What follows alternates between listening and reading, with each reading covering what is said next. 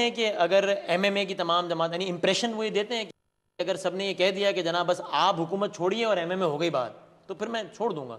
आपने दो टोक बात की मौलाना साहब हुकूमत छोड़े हैं या नहीं? देखिए, ये हमारा इशू नहीं है कि वो छोड़े या जाए।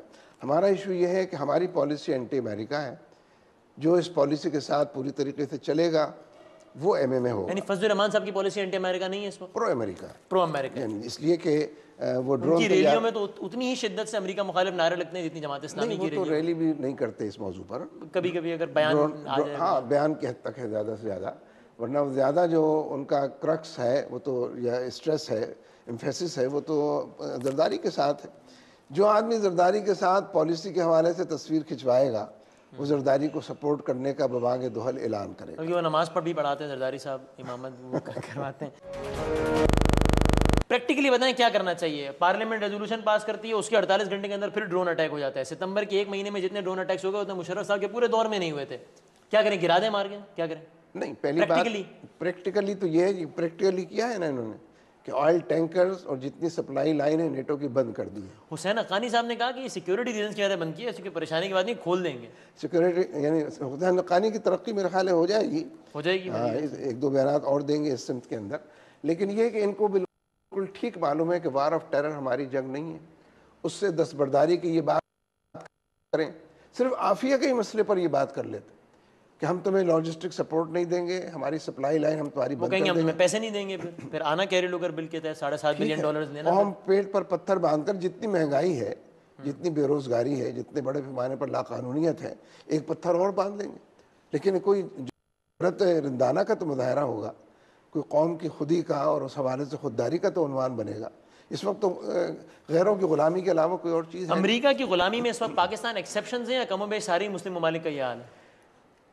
जी हाँ गुलामी का उनवान मुख्तलिफ़ हो सकता है तरीक़ वारदात अलग हो सकता है।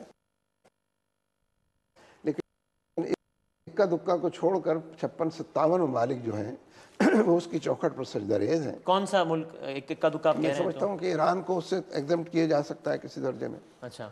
हो सकता है कोई और भी जो इस वक्त फौरी जहन में नहीं आ रहा। या ये कि अफ़गानिस्तान ने अगर अफ़गानिस्तान पर बात करने की इजाज़त हो तो डिफाई किया है। और अमरीकियों को कदम जमाने का मौका नहीं मिल सका है। अफ़गानिस्तान नौ साल तो गुजर गए। ना उसामा बिन लादेन को पकड़ सके व न मुल्ला उमर को कोई ठेस पहुँचा सके। अरब रियासतों के किरदार से मायूस है जिनका इस्लाम में खास तशखुस से है वहाँ पर हमारी हर जगह जो निज़ाम बादशाहत का या शेरडम का मौजूद है आ, मुझे याद है कि किंग हुसैन ऑफ़ जॉर्डन जो हुआ करते थे। उनको उनका जब इंतकाल हुआ है और उनका जनाजा हुआ है तो पाँच अमरीकी प्रेसिडेंट्स उसके अंदर मौजूद थे जो बहुत ज़ोर से गोया बावाज बुलंद ये ऐलान कर रहे थे कि the king is dead and long live the new king. तो ये जो जमहूरियत का लंबरदार अमरीका है और ये जो अपने एक जिसने बड़े एहसानात किए थे अमेरिका पर उसके जनाजे में शरीक थे। तो इसलिए अरब दुनिया में तो मुझे कोई नज़र नहीं आता कि जो इससे हट कर चलने की कोशिश भी करता हो ख्वाब भी देखता हो या इस सिमत कभी इतफाक़न हादसाती तौर पर नज़र आता हो सब लोग अमेरिका की पॉलिसीज़ को टो करते हैं। इनकलाब की बड़ी बातें होती हैं। पाकिस्तान में कोई कहता है मुहब वतन जर्नैल आके कर दें शहबाज शरीफ साहब कहते हैं खूनी इनकलाब आ जाएगा अगर ये ये ना किया। तो पाकिस्तान में इनकलाब की बातें करना प्रैक्टिकल है या हमने इनकलाब को कुछ ज़्यादा ही रोमांटिसाइज कर दिया है? कि जनाब इनकलाब आएगा एंड ओवरनाइट ये जो तब्दीली और इनकलाब की बातें हो रही हैं उसका पहला मैसेज तो ये है बल्कि बॉटम लाइन ये है कि मौजूदा सेटअप से लोग बिल्कुल उकता चुके हैं। इसने डिलीवर करने की सलाहियत ज़ीरो पर है इसकी। लोगों का अतमाद ख़त्म हो गया है। इसीलिए उनके अंदर शरीक लोग, जिनका दो का नाम आपने भी लिया है, इसके अंदर शरीक लोग भी तब्दीली की बात कर रहे हैं, यानी चोर भी कहते चोर चोर वाली बात है कि जब चोर के पीछे लोग भागते हैं, चोर चोर कहते हैं, वो भी चिल्लाना शुरू कर देता है ताकि शामिल हो जाए और बच जाए। तो इसलिए जिनके खिलाफ इनकलाब को आना चाहिए, वो खुद जब ये बात कर रहे हो तो वो भी गोया अपने आप से बेजारी का ऐलान कर रहे हैं। लेकिन मैं ये समझता हूँ कि अनारकी को इनकलाब नहीं कहा जाता। लेकिन जागीरदारों को वडेरों को जिस तरह अल्ताफ हुसैन साहब कहते हैं और उनकी बात इसलिए कर रहे हैं कि इनकलाब के वाले से उन्होंने खास स्टेटमेंट दिए उनको उनके महलों से निकाल कर चौक पर लटकाना उनकी लाशों इसको इनकलाब कहते हैं? ये भी अनारकी है।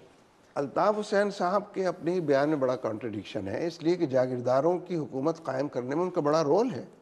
वो मरकज़ में निकल आए जागीरदारों की हुकूमत से तो जागीरदार गिर जाएँगे ज़मीन के ऊपर। उन्हें इस बयान से पहले हुकूमत से निकलने का ऐलान करना चाहिए था कि हम कहते हैं अवाम हमें वोट देते हैं और अवाम ने हमें राइट दिए हैं, हमने हम कोई बैक डोर के ज़रिए तो इख्तिदार में नहीं आए। वोट दिए अवाम ने हम इख्तिदार में फिर ये बयान ना दें। फिर जागीरदारों के खिलाफ बयान वो दे जो जागीरदारों से फ़ायदा ना उठाता हो। जिसने जागीरदारों के ज़रिए वजारतें पक्की ना की हुई जिसके नतीजे में टारगेट किलिंग ना हो रही। यानी कोई एक बात कहे ना सारी विकटों के ऊपर खेलना और हर जगह अपने आप ही को की बात हो रही है तो ये ईरानी इनकलाब के बारे में क्या जमात इस्लामी की क्या राय है? कैसे देखती है इसको ईरानी इनकलाब तो अपने नतीजे को पहुँच गया है। उसको जितना अप्रिशिएट किया जा सकता था वेलकम किया जा सकता है, लोगों ने वेलकम किया है। और बहरहाल एक एक अमरीकी हुकूमत वहाँ पर कायम थी और बहुत मज़बूत बज़ाहिर डायनेस्टी बादशाहत थी। उसको आवाम ने उखाड़ कर फेंक दिया है तो बड़े ज़रूरत का मुजाहरा किया है। लेकिन ईरान जैसे हालात मैं नहीं समझता कि पाकिस्तान के हैं। पाकिस्तान में तो बहुत सारे इंस्टीट्यूशन अब भी काम करते हैं। मीडिया भी किसी दर्जे में आज़ाद है। जुडिशरी ने भी अपने हिस्से का काम किया हुआ है। मुतमिन जमात इस्लामी जुडिशरी के करंट ये इनकलाब के रास्ते की रुकावट है। आज़ाद अदलिया और आज़ाद प्रेस की रुकावट है। अगर ये भी अंधेरों के अंदर गुम हो जाए और ये भी जिस तरह पार्लियामेंट काम कर रही है सुप्रीमेसी ऑफ़ द पार्लियामेंट कहकर कोई उसकी बात पर अमल ही नहीं करता अगर ये भी उसी डायरेक्शन में चले जाएँ तो ये इनकलाब का रास्ता हमवार करेंगे। आप पर कुछ लोग ये तनकीद करते हैं कि जमात इस्लामी की अब जो क़्यादत आ गई यानी मुनवर हसन साहब वो ज़्यादा ही हार्ड लाइनर है। अब मुझे पता नहीं हार्ड लाइनर और सॉफ्ट लाइनर किसको कहते हैं?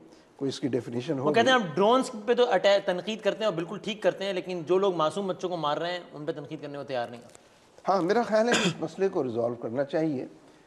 देखिए हर अमल का एक रद्द अमल होता है। ठीक। जो लोग सिर्फ़ रद्द अमल पर बात करना चाहते हैं मुझे उनसे अधूरी बात करते हैं ठीक। इख्तलाफ है। ड्रोन गलत अमल है ऑब्वियसली गलत अमल गलत रद्द अमल को जस्टिफाई करता है? नहीं। चूँकि तुमने ड्रोन के नतीजे में मेरे दस गुना बे- बेगुनाह लोग मारे इसलिए मैं भी पंद्रह मारूं। ड्रोन हमले एक रियासत कर रही है। और नेटो और non NATO allies of America कर रहे हैं। ठीक है। उसका मुकाबला रियासत को करना चाहिए। ठीक। अगर रियासत नहीं करती। अगर रियासत करे तो हालात की खराबी कोई नहीं पैदा होगी। और रियासत ना करे तो बम धमाके जायज़। देखिए ना अगर रियासत ना करे तो फिर तो फ्री फॉर ऑल हो जाता है। जैसे हमारे यहाँ सदर साहब की एक बड़ी पॉपुलर इस्तेलाह है अगर मुझे मुस्तार लेने की इजाज़त हो। State actors non state actors ठीक। जिस सोसाइटी के अंदर सारे काम नॉन स्टेट एक्टर्स करते हैं हेल्थ की सारी स्कीमें नॉन स्टेट एक्टर्स की एजुकेशन की सारी स्कीमें नॉन स्टेट एक्टर्स की। लॉ एंड ऑर्डर नहीं है तो आप कहते हैं हमने गार्ड्स की कंपनियाँ बना दी हैं। आपको अपनी जान ज़्यादा अज़ीज़ है तो अपने साथ गार्ड रखा करें घर में भी गाड़ी में भी दफ्तर में भी। नॉन स्टेट एक्टर जान भी बचाते अब इन्हीं नॉन स्टेट एक्टर्स ने जिहाद भी शुरू कर दिया। तो फिर ये मौलवी के पास पहुँचते हैं, साहब फतवा दीजिए कि रियासत की मर्ज़ी के बगैर जिहाद हो रियासत की मर्ज़ी के बगैर सारे काम हो रहे हैं जो रियासत के करने के हैं। तो अगर सोसाइटी के अंदर सारे काम हो रहे हैं गलत हो रहे हैं तो जहाद भी मतलब मैं वही बात कर रहा हूँ गलत अमल गलत रद्द अमल को जस्टिफाई करता है। आपका असल में स्ट्रेस ही जिहाद के खिलाफ है ना। किसी ने नहीं पूछा कि ये हेल्थ की स्कीम रियासत क्यों नहीं देती? गलत है देनी चाहिए रियासत। गलत तो है लेकिन आपने कभी डिबेट नहीं मैं मैं तो कह रहा हूँ गलत है। नहीं गलत कह तो रहे हैं लेकिन डिबेट तो कभी नहीं की। इसके खिलाफ चार्जशीट करें नहीं करते ना बल्कि उससे भी ज़्यादा मसला लॉ एंड ऑर्डर का है ना। मुझे भी गार्ड की ज़रूरत है ना। आपको भी गार्ड की ज़रूरत। है तो एक ऐसी रियासत के बारे में ये समझना कि वो जिहाद करेगी लोगों ने अगर जिहाद शुरू कर दिया ये तो उलमा बताएँगे कि सही किया मैं तो बम धमाकों का पूछ रहा हूँ आप जहाद तो ये बम धमाके जिहाद हैं? जो लोग करते हैं वो जिहादी समझ के करते हैं। सही समझते हैं? उलमा बताएँगे ना। आप लेकिन मैं समझता हूँ गलत काम इतना ज़्यादा हो रहा है 99 परसेंट गलत काम पर हम बहुत कम गुफ्तु करते हैं। मैं तो कह रहा हूँ ड्रोन अटैक्स पे तो हमने पहले ही कंडेम कर तो दिया हैं, लेकिन आपका इंटरव्यू नहीं है ना इंटरव्यू तो मेरा है तो बात तो असल में ये है कि 99 परसेंट जो गलत मसलन अमेरिका की मुदाखलत हो रही है। अमेरिका ड्रोन तैयारों के हमले कर रहा है। अमेरिका के नतीजे में मिलिट्री ऑपरेशन हो रहा है। अमेरिका के नतीजे में डूमोर हो रहा है। पूरी 99 परसेंट जो चीज़ है उस पर तो हम बात ही नहीं करते एक परसेंट भी बात नहीं करते और एक परसेंट पर 99 नाइन इंटरव्यू हमने पहले